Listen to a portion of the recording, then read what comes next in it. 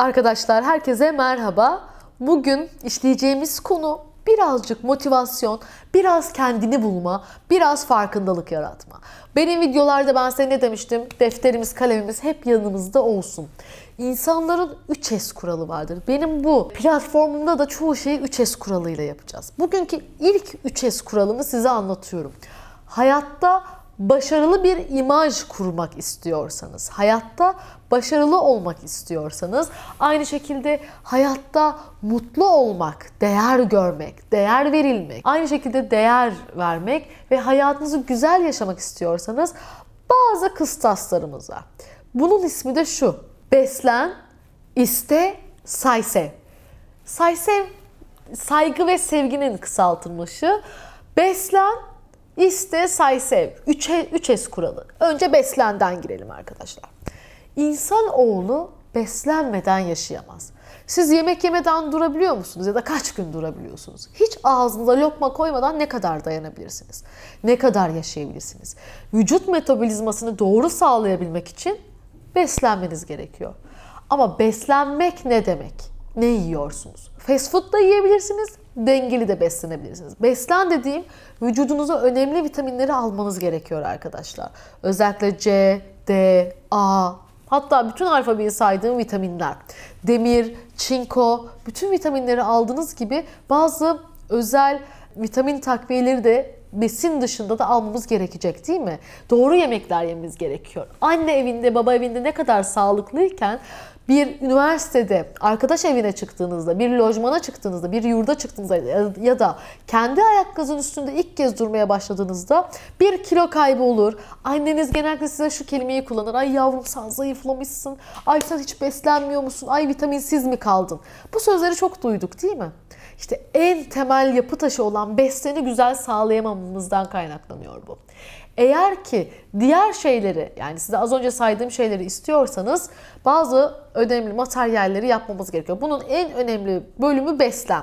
Lütfen arkadaşlar eğer yapmıyorsanız alın bir A4 kağıdı, sabah öğle akşamınızı yazın. Kendi yemeğinizi, diyetinizi kendiniz oluşturun. Gerekirse kilolu olmanıza gerek yok. Yani bir kilo probleminizin olmasına gerek yok. Ee, zayıf insanlar da, çok zayıf insanlar da diyetisyene gider. Orta kilolu 36-38 beden de gider, 40 da gider. Herhangi bir diyetisyene gidin. Size sağlıklı beslenme diyeti menüsü versin. Öğrenin. Olmadı sosyal medyadan araştırın. Bir yeme düzeniniz olsun. Ara öğününüz olsun. Çünkü en yapı taşım benim beslenme. Hemen üzerinde ne var? İste. Yine bir atasözü. Hani istemeyene emzik verilmez, istemeyene mama verilmez denir yani. İsteyeceksin.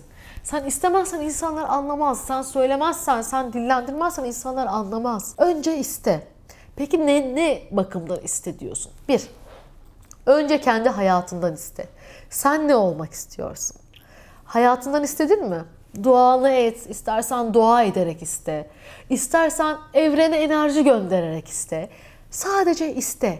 Ne olmak istediğini yaz. Bakın network platformları size kocaman bir kağıt verirler ve onun üzerine yazılar yapıştırmanızı, resimler yapıştırmanızı isterler. 3 yıl sonra ne istiyorsun? 5 yıl sonra ne istiyorsun? Genellikle ev, araba, aile, ağaç, orman, tatil falan yapıştırılır. İstenir.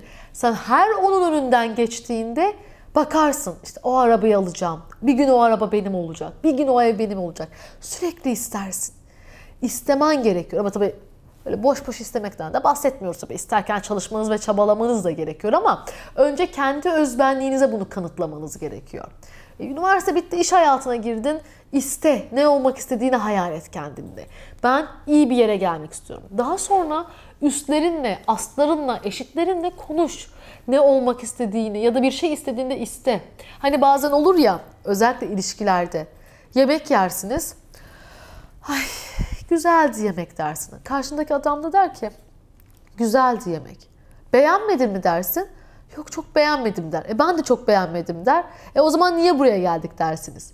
E çünkü ikiniz de istediğinizi belirtmediğiniz için ikinizin de istemediği bir yere gidersiniz. Lütfen o yüzden isteyin.